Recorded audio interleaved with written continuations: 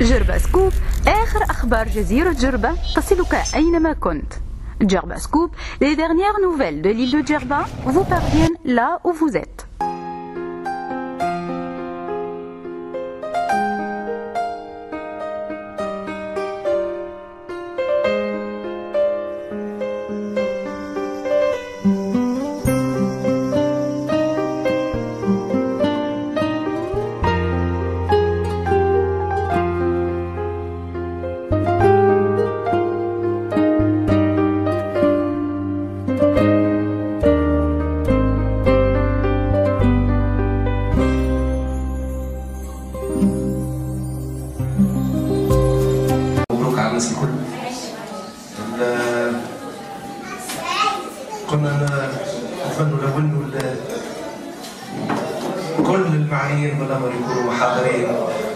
اللي عاونوا يكونوا حاضرين باش نوجهوا لهم الشكر باش نشكروهم.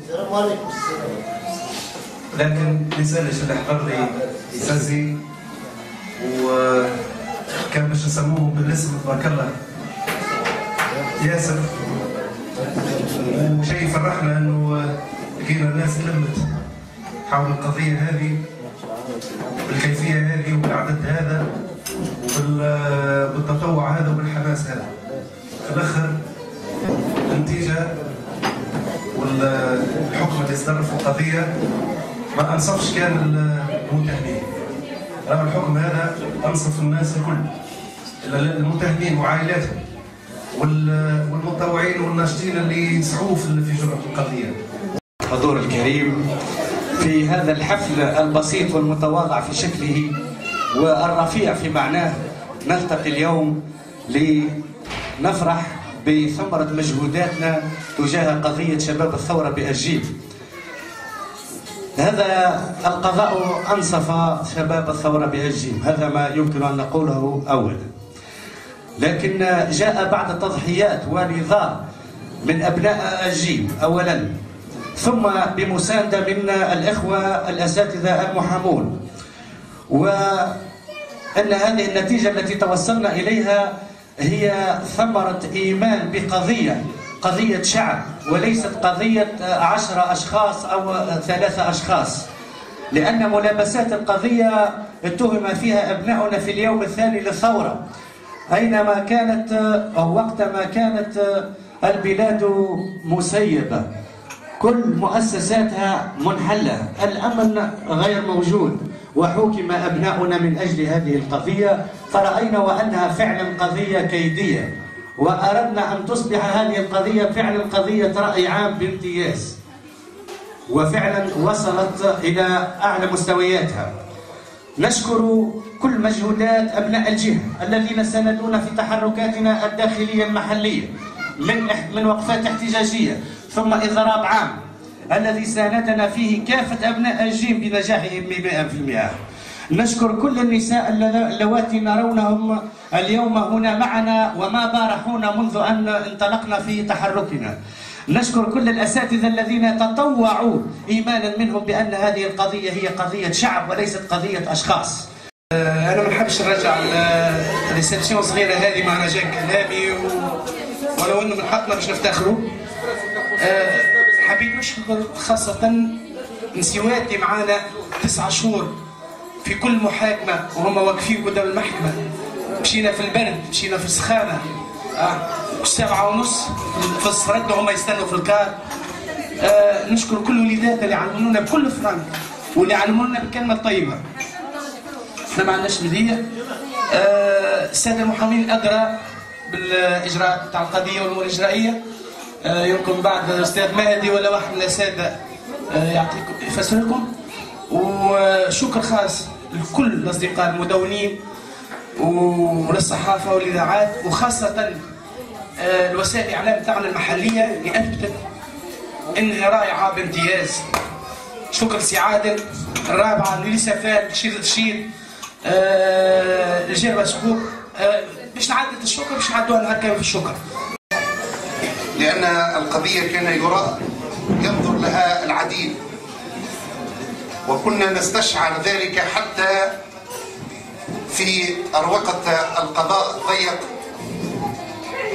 كان يراد بها ربما منحى آخر خلافا لما رآها الدفاع.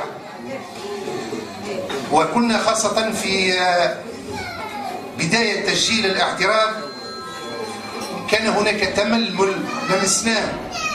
ولمسته شخصيا. أن الصراع كان بين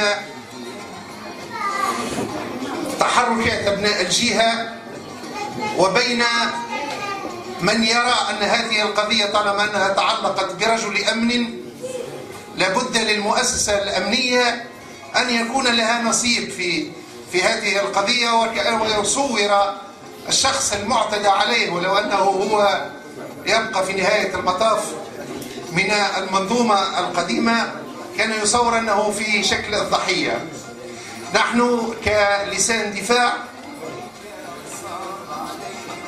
كانت خشيتنا شديدة خاصة عندما تكاثرت الطلبات الشكلية من هيئة الدفاع لتفكيك مختلف أطوار هذه القضية والاتبيان للرأي العام. أن مثل هذه القضايا تحاك في أروقة مظلمة وبالفعل لأن عندما أن تطالع حتى للإنسان العادي عندما ينظر محضر البحث الذي تناوله الدفاع ينظر ما كان بالفعل أن هذه القضية فبركت. وللأسف الشديد نظرت فيها هيئة قضائية وأصدرت حكم غيابي وما تمنيت أنا شخصيا أن تصدرها هذه الهيئة وفيها من فيها من القضاة المحسوبين على الجمعية جمعية القضاء التونسي التي كانت من مطالب الثورة لأن الثورة عندما انطلقت إضافة إلى الشعارات الكبرى كانت تنادي باستقلالية القضاء. لكن التاريخ يذكر أشخاص ويطوي أشخاص وهو ما, ما كان فعلا لأن حتى حكم غيابي بتلك الصفة أمام ملف خلا من أبسط حقوق الدفاع خلا من أبسط الإجراءات الأساسية خلا من مما تتطلبه مما يتطلبه ملف جنائي لأن الملف الجنائي هو ملف قضائي بامتياز.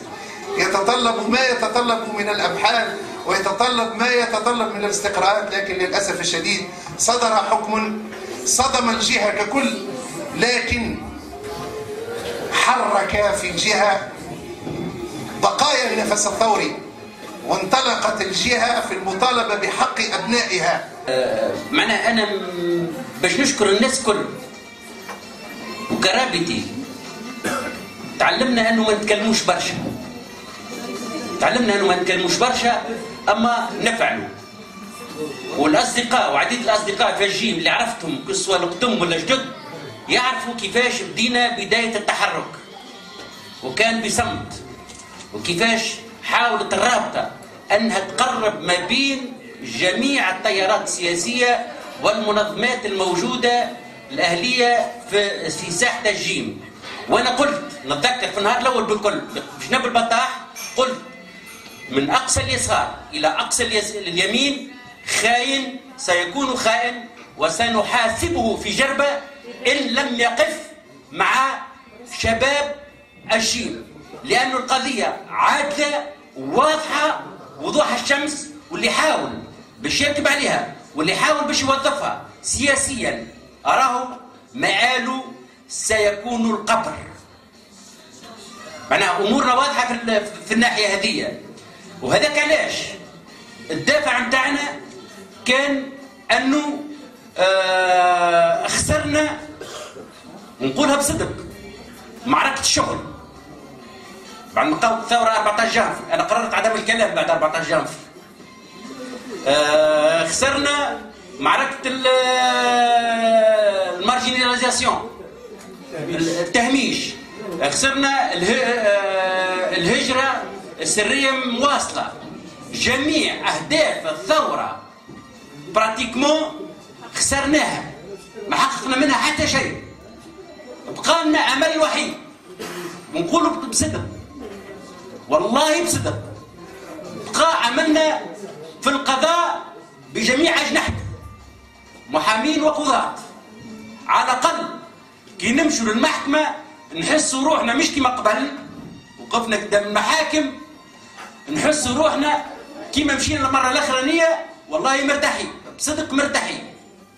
نوعا ما ثم نوع من الراحة النفسية.